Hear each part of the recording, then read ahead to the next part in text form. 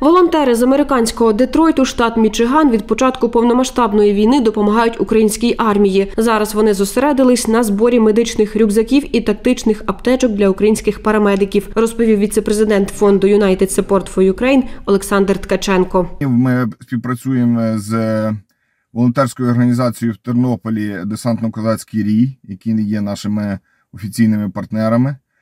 Е, Також е, ми, в принципі, почали нашу роботу з е, надання і посилки гуманітарної допомоги в Сполучені, Сполучених Штатів Америки в Україну.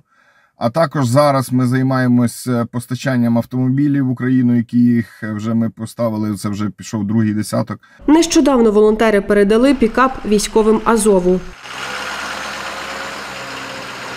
Прохання було надати автомобіль е, з е, збільшеною базою е, для того, щоб можна було е, розмістити обладнання, яке їм потрібно, або розмістити особистого, особистого складу як можна більше в автомобілі. І завдяки цьому ми почали шукати автомобіль.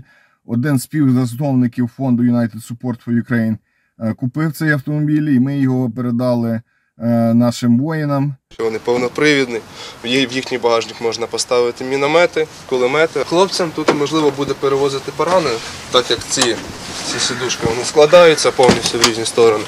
Якщо потрібно більше велика кількість місця, це все швидко склалося або для перевезення ліків, або боєприпасів.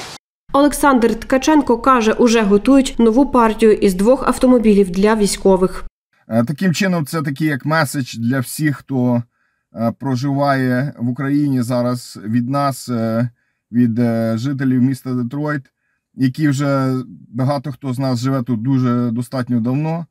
Е, Ми за вас не забули. Ми будемо продовжувати працювати і продовжувати допомагати Україні.